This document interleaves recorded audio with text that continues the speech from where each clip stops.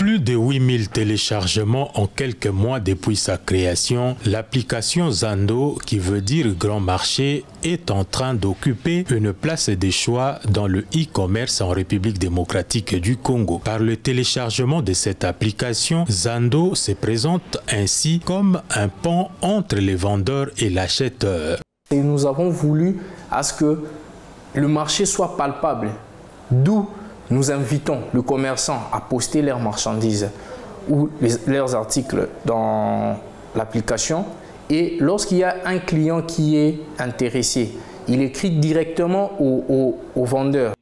Zando, une initiative qui emploie une dizaine de jeunes, est une création de Jonathan Dambana, un jeune Congolais en cheval entre Londres et Kinshasa. Avec la fermeture des Zando, le grand marché de Kinshasa, dont les travaux de réhabilitation tardent à se réaliser, le concept de ces jeunes tire un tant soit peu profit de la situation.